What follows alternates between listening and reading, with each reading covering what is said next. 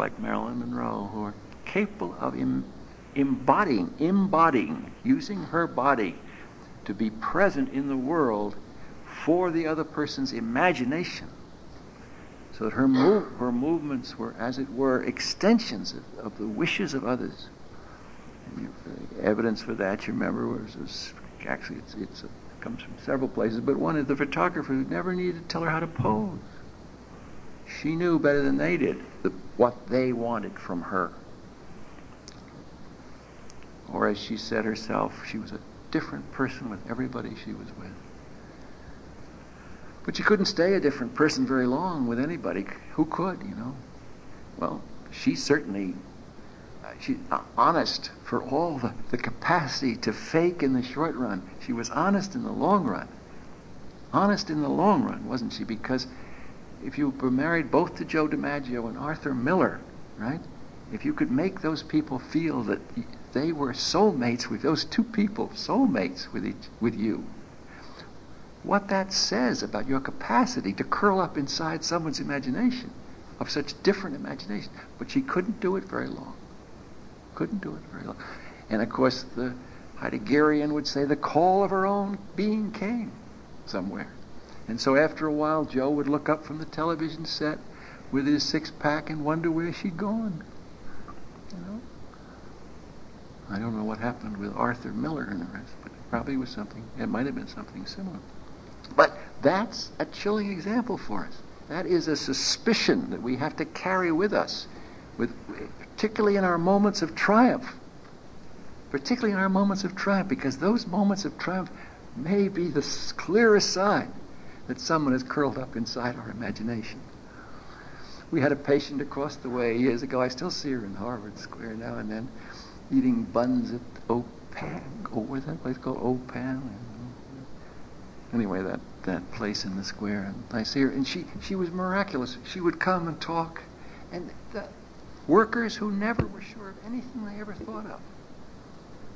People who really didn't, were totally puzzled by everything, sensibly often puzzled by everything that happened. After a conversation with her, would come out confident, spewing interpretations and diagnoses like a fountain, because she made them, she made them feel confident and good. And she said, given them the things they wanted, reinforced. And but she was even more rapid in her changes of heart. They could be disappointed a day or so later, but for a while, it was a glorious experience. And we all know that. We buy that in our political leaders. And we need it. We need it in our relationships, and and it isn't something to be made fun of. It's a, it's a glorious thing as long as we don't uh, take it quite as seriously as uh, as Joe took it, or Arthur Miller, or, or some of us, others of us too. Now, what I want to do here, before I get to the to the termination thing, is to is to um, just speak a little bit about these common fact, what I call common factors, and enlarge them a little bit, because one of the reasons that I think the common factors problem um, is so central to our work is that we haven't, it isn't yet accepted, at least in the literature that I encounter, it isn't accepted that the common factors are hard to apply. I mean, everybody thinks it's very hard to make the right interpretation or, or to set up the treatment. But the common factors are regarded like common people or common sense. You know, it's like everybody had them. But in fact, common sense is the rarest of qualities in my experience. And, and the common factors may be the most, as I believe they probably, question mark, question mark, are the most important factors in determining the outcome of treatment. At the same time, treatment doesn't always turn out as well as it might. And I think it's because the common, one major culprit is that we haven't been able to apply the common factors. And so I want to talk about what makes it difficult to have a good relationship, to prize people, to understand them. And I've been doing that off and on. But what I've, what I've come to, I think, realize in the course of giving these talks and working them up is that all along I think I've been talking pretty much in that language. And that when I've talked about the difficulties of comprehending other people's perspective, I've really been talking about applying the common factor of understanding.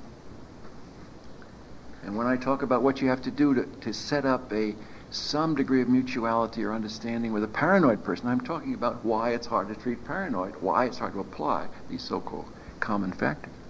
So they're really uncommon factors like common sense. Now, most of this is, is again, you know, plain, perhaps not worth saying, but because it, but because it's, it is so common a problem, I want to, I want to highlight it. Why can't we respect each other? You know, why can't we sometimes even respect the people that pay us, right? Or come to us with hope from us? Why can't we do that?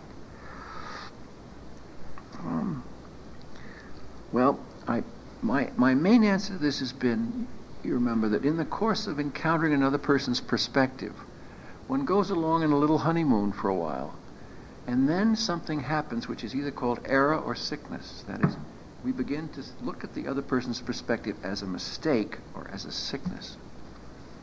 And, um, and that's the moment, I think, when the respect begins to fall. The stock market falls for respect. Right? And, and that's a moment at which one has to then, I'm, say, I'm suggesting, and I'm re- repeating something I said at length earlier, of course, that's, that's at the moment at which one needs to put the terms sickness or error in brackets and see it instead as a sign that our perspectives have collided and that I have to make an effort to see it more from the other person's point of view. Now, I don't mean that there aren't errors and that there isn't sickness. I don't mean that. I just mean that that's a hard thing to get to. And you got to work a long time. And you may never get there, in fact. In fact, one of the curious paradoxes absolutely fascinates me about this work is that in the course of trying to get to someone's perspective and avoid the impression of error and sickness, things change. The system changes, and you may have the very thing you want at the end because you never reached for it at the beginning.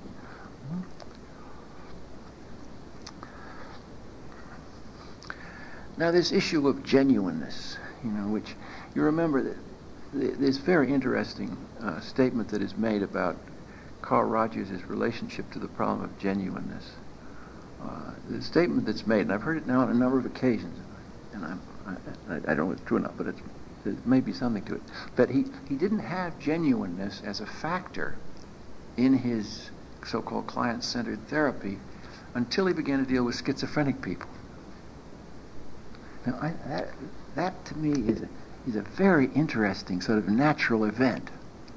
Because if you've spent as much time with so-called schizophrenic people as I have in my in clinical career, you know that it is extremely hard to be genuine with them because they make you think they're crazy. So you immediately delegate them to a particularly inferior status where you can condescend, essentially, or patronize them very easily. Hmm? On the other hand, if you can avoid that, if you can just sort of sit around with each other, and I remarked upon this extraordinary experience that we had over and over again in the old days, now, now seem old, a few years ago, when we had the Met State as a place for our residents. And, and we, we tried to give them six months out there in which no one noticed what they were doing. in which they sort of sort of sat around and, and, and sometimes they didn't come to work at all and I tried not to notice that and and uh, and they and, and but eventually something happened not invariably but you know most a good deal of the time that was in my opinion truly extraordinary um, the young doctors and the quote crazy patients at first the doc- young doctors being you know frightened to death or, or appalled by this person I remember more than one uh, young person saying to me after a week or two in the place, you know, all my life I have been trying to keep away from this situation. well, you know, right. I mean, who, who, who could, who could not agree with that to some extraordinary? The dirt, the horror, the neglect, the isolation, the strangeness. You want that? I mean, you know, you got enough of it without having to look for it. Um, anyway, there they were, stuck with each other. And what happened? Well, after a while, um, there wasn't much to do. You know, after you decided someone's crazy, and, and then you still come back and have lunch with them. It's it changes, doesn't it? And and and then something happened, which to me was really surprising because on on maybe 20% of the time, 25% of the time, people would say after six months, usually by the third or fourth month, that this patient was one of the best or the best friend they had ever had. Well, now that's that's not perhaps as remarkable as it seems at first blush, because if you've been a, if you've been a pre-med student and you've had to go to medical school and you've had to study and take chemistry, which you might hate, especially if you're going into psychiatry, you've had to do that for innumerable years. Who has time for friendship? so that uh, they've been through a long, the young people have been through a long desert of human experience. And then, but then to find that the desert ended at an oasis in the most improbable of places, you know, that was something. I think it was helped by the fact that many of the so-called crazy people were naked, that they did not, in fact, have the so-called defenses, and this is an old formulation of psychosis, which makes it harder to be friends with some people because they are defended. And so that if you once get through the original horror and then abandon some of your own pretenses, you know, you, you're you're ripe for this this friendship. But maybe it was something like that which got Carl Rogers to think to add genuineness to his uh, his little list. What keeps us from it? Well, here I have suggested that the that the operative term is cliches or conventions to our capacity to be spontaneous with each other in some sense, to sort of let down our barriers, uh, not to not to be uh, professional or official and things of that kind with people. Um, that that uh, suggests an abandonment of kind of the expectations. I would call them cliches, but that's negative. Others would call them wise professional conventions. And there's no question that that, um, that they often are very wise professional conventions. Here again, you know, all this common factors advice gets a bad name. A word like genuineness gets a bad name because by itself, all by itself, it can go a long way, but it can't go far enough, and it can get in a lot of trouble.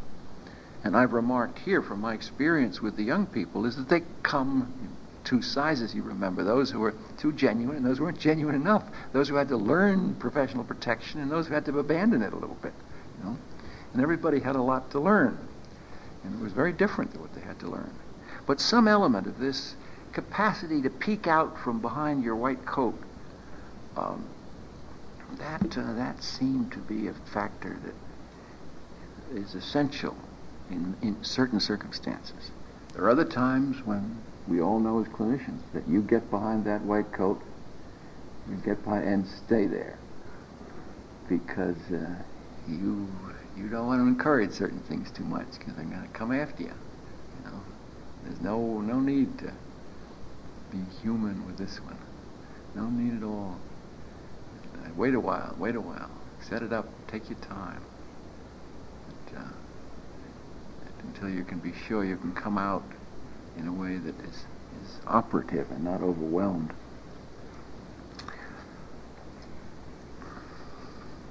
And then the understanding, the need to, to mingle perspectives.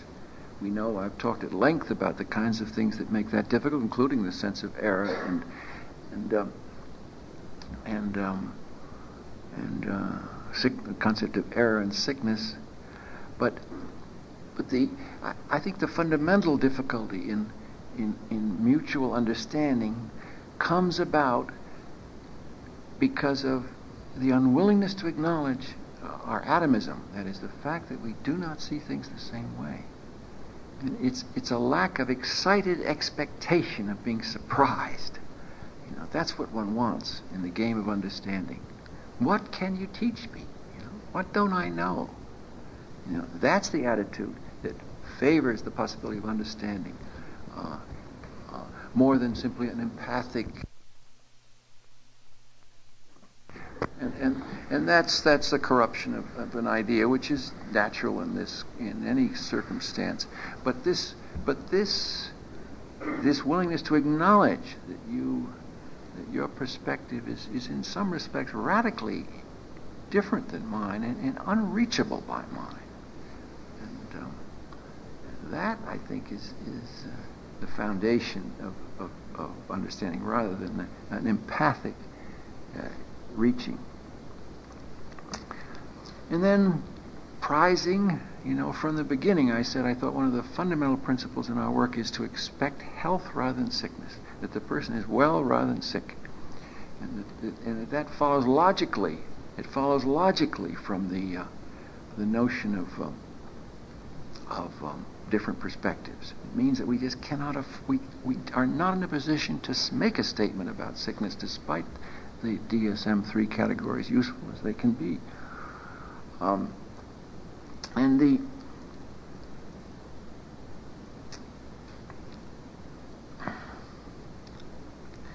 the prizing, how far should we carry it? I've commented on that already in terms of the dangers of of, uh, of uh, over entitling people, of exciting people too much.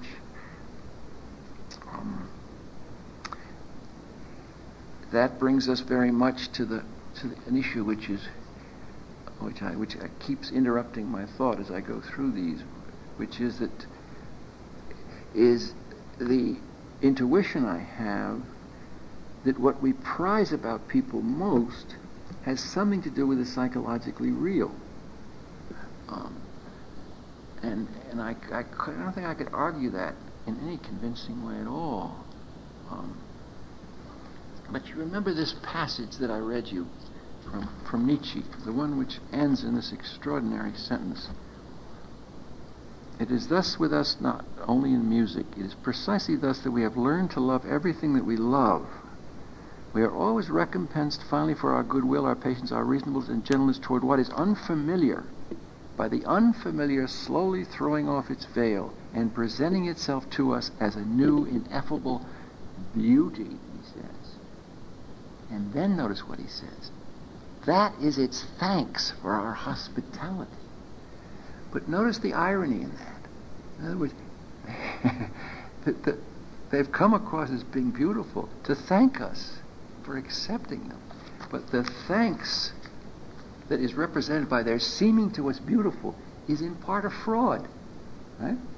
And he, because he knows that they aren't really terribly beautiful. No more. You're no more beautiful than I am. You may be a good deal more beautiful than I am, but but, you, but it really isn't. It isn't astronomically different. But that because because this has been exercised, then the thing gains value in our mind. That in fact, the person is really quite familiar, quite like most other people, and yet the the response to the hospitality is this brightening, you might say, of the ordinary. Well, finally, I, I suggested that, that uh, persistence and, and transmitting, persistence and transmitting should be added to the list of these common factors. And I think that it hasn't been because most of the studies aren't done on long-term work. Very little, there's very little literature on, on the evaluation of long-term work that I know, anyway. And um, and that the but the need of persistence, and here I here I tried to make much of the concept of leaning into the the repetition, leaning into the thing you didn't like, and allow and, and here again the connection was with the real because when you were with the person there were things you couldn't be comfortable about and they may, you may have thought there was sickness and, and, and error, but really it's a difference in our perspective, maybe. And yet I got to do something about it. I can't twist myself into a pretzel because I want this relationship to work. And it won't work if I twist it into a pretzel. It'll be like a marriage where one person is doing everything for the other person. I have to find a way to somehow get a little bit of myself taken care of in this relationship. And that's what I meant by leaning psychotherapy may be about, you know, having a relationship that works. That's one conclusion you could draw from the common factors. So how do I make it work? Well, I make it work by respect and genuineness and all this. But I also make it work by leaning into things I don't like so that the person gets the idea. And that's a poor way to talk, isn't it? Leaning. But I think it's central. And with that comes the problem of despair. You know, the patient doesn't believe this relationship or any other can work for them. And I have to both understand, that goes back to the earlier principle, understand the despair, at the same time lean into it with a kind of confidence that maybe it can be different. I've been here before, you know, I understand. I'm not telling you to be cheerful when you're not, when you're not, but I lean into it. And um, and those of you who have had the privilege of, of knowing, you know, uh, many young people as I have been richly blessed by many, so many wonderful young people, know that, that there always comes a certain point when the two of us who are trying to make something happen, you know, the, whether it's residents and the children or whatever, you know, the, the things, they don't do it right. I don't think they do it right. I would like them to do it different, you know. Uh, well, how do you, it's, supervision's a good situation where this occurs, you know. I think I'd like to see you do things. Well, how do you how do you really bring that to bear in a productive way? Not just create a formula or a cliche that the person takes over from you. Because if you watch this supervision as long as I have, you know if you tell people how to do it, they'll take it and then they'll botch it. And it's perfectly natural because this is an organic process, and you can't just impose something on. It. You have to lean a little bit into them so that they begin to think, not think differently, but sort of make gestures that are a little different. And I, and I all along I've been saying this, that, you know, this is, our work is gestural, it's movement. Language is all very fine, it's intellectual, and it's very good at Harvard, but it isn't, doesn't have much to do with our work, I don't think. It, what, language is what you do afterwards, like Freud's remark about the scientific purposes. But when you know, you know, when you wish, you wish the person would, um, oh well, take a little longer to make up their mind. Well, how do you, how do you, how do you, uh, you know, how do you signal that? If you say, oh, take longer to make up your mind, what good is that? I mean, how much longer? I mean, it just isn't right. I mean, should you wait two weeks, three weeks? Who knows? How you can't? It wouldn't. Be, it's no good to you. You know. It's like it's like those signs you see next to mountains on the roads, falling rock zone. I mean, what are you supposed to do? Look up so you get hit by the rock. I don't know. It, it's, it's the, the, world is full of advices like that, and and. and uh, so, I, but if you lean a little, I know what I do is I go around the corner in a place like that. I lean a little. You know, I try to keep away from the mountain.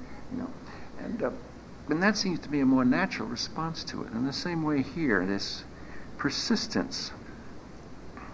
Um, and then finally, I talked already enough about this transmission of, of courage business.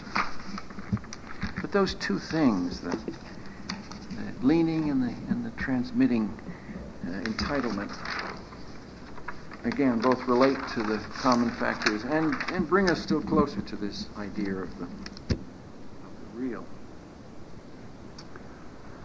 Well, that's they also bring us closer to the idea of ending, not only ending these lectures, but also ending the treatment.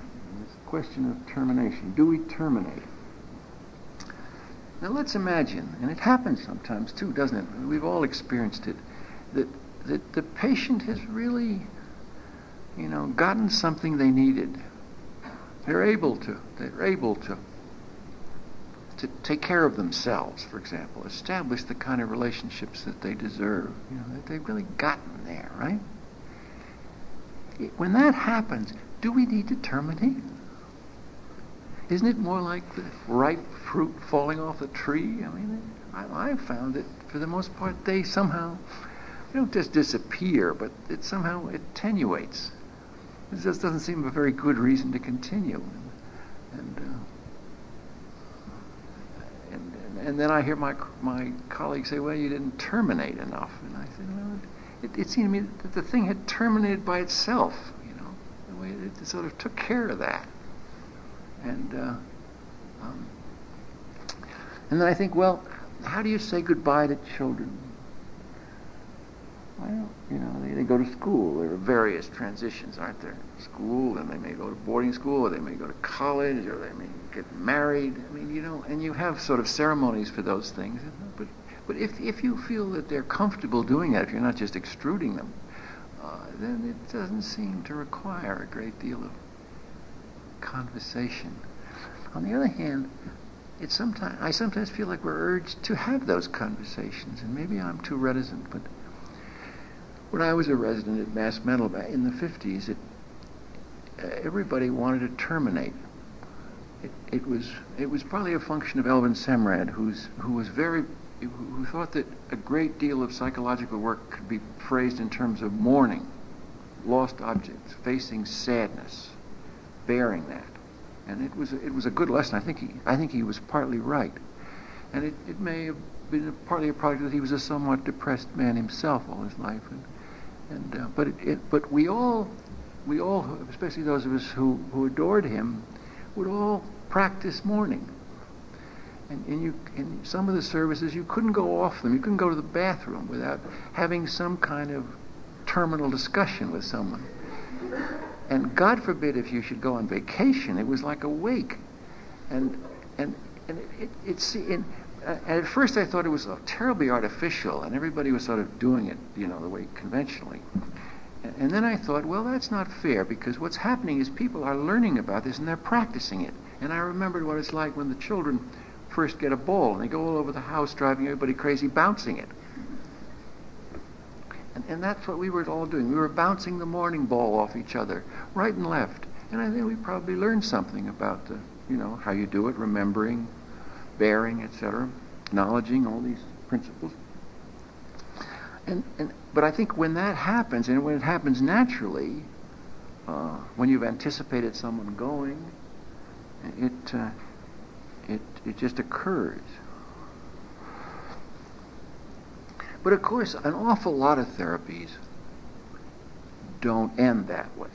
I mean, someone has to go to Seattle. People are always going to Seattle, and they, and and and you, and, or they run out of money, or they've uh, something has happened that simply imposes itself as a as an event, and then you want to end but you want to take some time to end, and that, that becomes a time when you talk. When you, I think that's one of the one of the places where termination as a concept enters very sensibly. I don't want you to go too quick. I want to. Can we? Can't we say goodbye in some fashion? How do you say goodbye to each other? And and you then learn that there's some people that don't say goodbye. They just get out, right? And then you say, well, maybe it's good to. Maybe we'll we'll do something with that. And, and then we discover often very dramatically, as do the patients sometimes very dramatically, that this moment of parting is the most important moment in the whole treatment. It's the moment when people can either explicitly say or convey that they love each other. And up to now, everybody's been so shy. And oh my God, if I, if I said I love the patient, that Tom Gutheil would show up with the legal corps and, and we'd all be taken off to jail and you know and it's just one step away from bedding down you know the whole thing. And, and, and this nonsense which is you know which is legally sensible he's going to come and talk to us this week. Month I'm preparing my introduction to his remarks. And uh, and um, anyway but but that um, but that whether whether the legal thing gets into our heads at that moment or not. The fact is that that, that moment of parting is a is one of uh, it gives us an opportunity uh, that isn't just an opportunity that's that has an inevitability about it. That, uh, that brings with it uh, feelings that uh, that make that may make the whole thing worthwhile. I never knew what you felt, the patient, until you said goodbye. children sometimes say that. I never knew what you felt. And was that because you know we're always accusing them of saying the most important thing on the way out the door? You know that's a, that's a classic, right? But we're the same way. You know, we may say the most important thing only on their way out of the door. well, that's all right.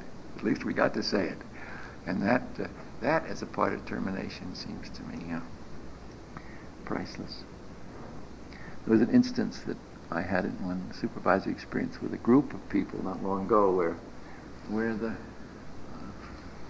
where the where a young therapist was obviously, I thought, very good to tell us something, but very conflicted, and and uh, I don't know what, in fact, she told the patient, but what she told what she told us, she told the patient. I thought she was shrewd enough not to have given us the whole story, but what she did tell us, she told the patient was that I'm astonished. She said to the patient, I'm astonished by what you have done. And, and we were all astonished that she had said it. But she had done it in such a way that we knew it, it, it felt right. It felt real. It felt right. And then, as if she had set us up to get our gooses cooked, she waited until the next time we all got together, and she said to us, you know, you know what the patient said to me this last time? You have astonished me. Have both astonished each other. And it was, it was true. They, you could understand. I mean, I don't say it's true. It seemed true to me because the patient was someone who had always wanted to be like the therapist, to look like the therapist, to dress like the therapist, have a career like her, be independent like the therapist. And to, to find that that person now could be paying attention to miserable me, you know, that was astonishing. And on the other hand, the therapist who was new to this work was astonished, right, that she could be useful to this person, right? So they each they each joined their different astonishments, and they could say it to each other. And and I'm I'm naive enough to think that saying it was, and here here here the words were valuable. Saying it was a kind of singing, a kind of song that that, that, that it certainly had in our minds quite an un, almost unforgettable element about it. But that is a form of termination I am uh, certainly enthusiastic about. But then that's two. Then those that fall off the tree because they're done, and uh, and those that and those that uh, are not done because they have to move to Seattle, and we have to do something about that to make sure that the thing has at least a push into the future, something memorable to retain itself. So that's really the, so this termination is not so much a termination as a continuance when it's like that. I think that I think part of the religion of termination arose not only out of the mourning thing, which is a good reason, I think. We want to we want to be able to lose each other and, and, keep each other, which is what mourning does, doesn't it? In a sense, we wash each other out of our hair, but we also have the memory of the good stuff, which has which can remain. But th- there was another meaning of termination, I think, which is difficult for me at least, and that was the, the scientific meaning. That is that, that this is the end of the operation. And Freud loved the surgical analogy. And you've got to you've got to wrap it up. You've got to sew them up. You've got to turn off the anesthetic at the right moment, and uh, you got to do it. You got to do it right. There's a set of procedures that you should you should carry out, or else the operation isn't finished. The operation isn't successful, as we say. Right? And uh, and there's probably something to that. Although um, the cases that are best adapted for psychoanalysis, in my experience, don't require that. They, they sew themselves up and go on. So that, that that surgical thing falls apart there. But there may be instances where there is a kind of of, uh, of finishing the operation, completing the operation, completing the experiment, another analogy Freud liked to use, where that may be. But I, I find myself hard pressed to recall experiences which seemed that way to me. Certainly it wasn't the case in my own analytic work, but that may be the, a problem.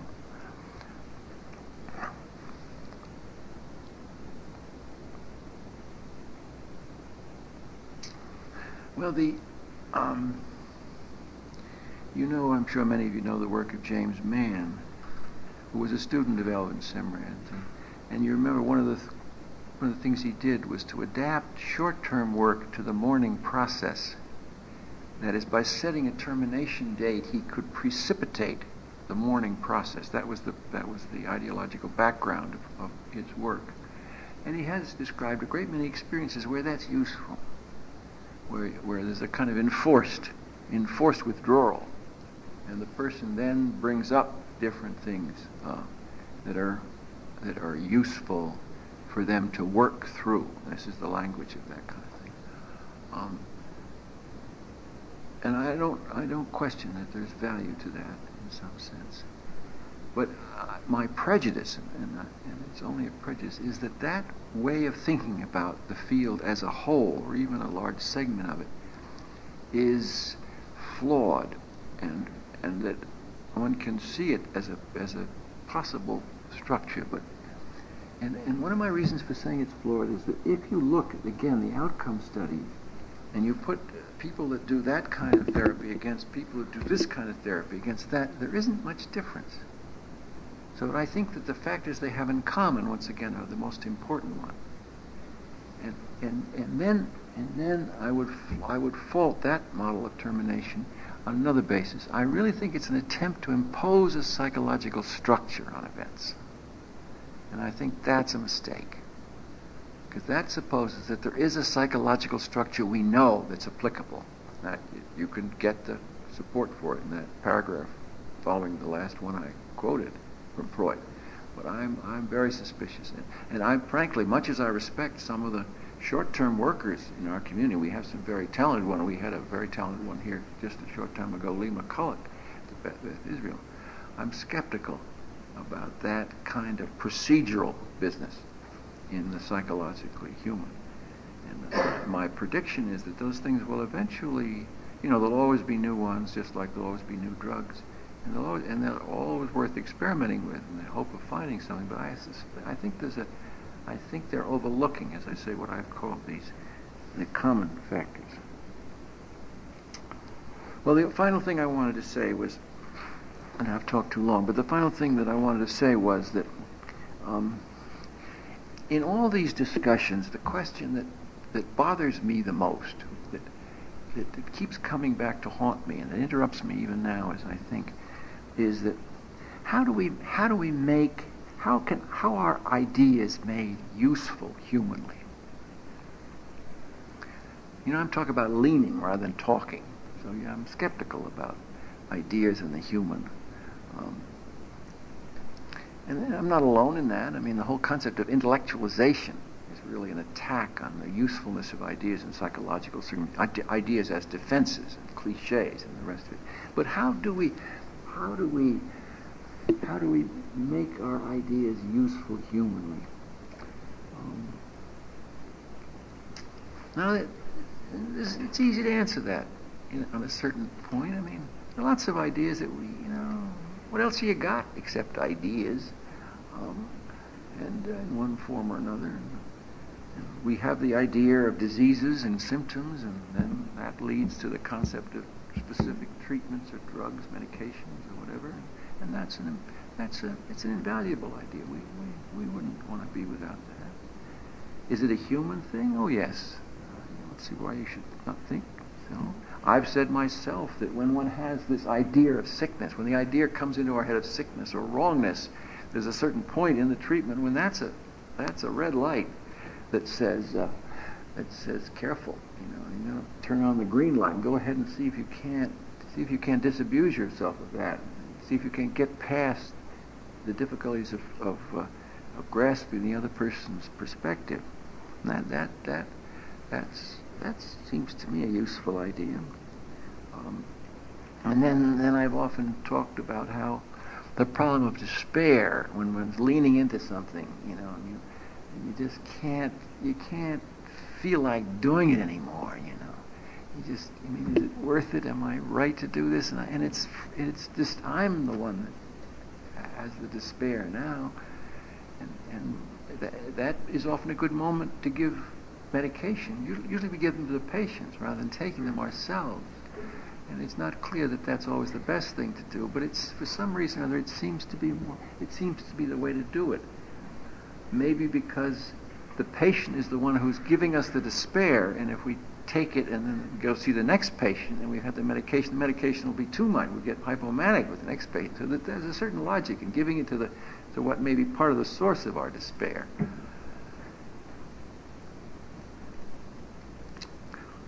But aren't all our ideas, aren't all of them useful? I mean, you know, I mean, today the idea of projective identification I hear everywhere. And apparently, if you if if you're if a supervisor or an examiner on the American boards wants to ask a question, that's the one that now I'm told is comes most, comes most often to their minds. So you have to have several answers depending upon the kind of questioner. But you have to have several answers to that question: What is projective identification? And, it, and it's you know it's a, it's a good idea projective identification. It's nice. It's it, it is it pulls a little change on the notion of projection itself brings it brings the projector and the projectee or whatever it is a little closer together in a useful, a very useful way. You wouldn't want to be without it. Well, thank you for listening, if you, if you were listening, patiently, and for putting up with me over this long haul. And I think that's as much as I have to say.